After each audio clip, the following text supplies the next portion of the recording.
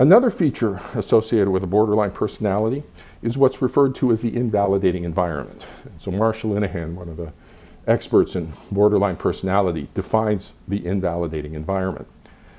A defining characteristic of the invalidating environment is a tendency of the family to respond erratically or inappropriately to private experience, and in particular, to be insensitive or unresponsive to private experience.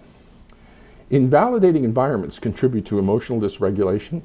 By failing to teach the child to label and modulate arousal, by failing to teach the child to tolerate stress, and by, here's the two important ones for parental alienation, failing to teach the child to trust his or her own emotional responses as valid interpretations of events, and instead actively teaching the child to invalidate his or her own experiences by making it necessary for the child to scan the environment for cues about how to act and feel.